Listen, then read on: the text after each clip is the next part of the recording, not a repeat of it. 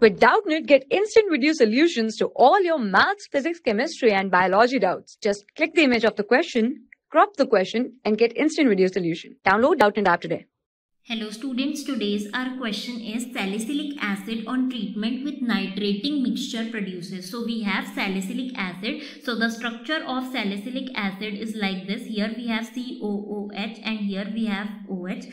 Now we have to treat it with nitrating mixture. So the nitrating mixture is HNO3 plus we have H2SO4. So this is our nitrating mixture. So this supplies NO2 group this compound. So here we can see that we have COOH and OH and this COOH is ortho para directing group. So this is ortho para directing group and here this ortho position is completely filled by this OH positive ion. So here we can see that this NO2 will attach at para position. So here we will get the product as like this. Here we had COOH which is from reactant and here OH and on para position we will get NO2.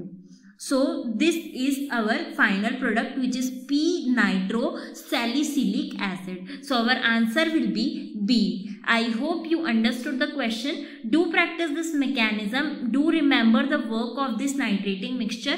Thank you. For class 6 to 12, IIT JEE and NEET level.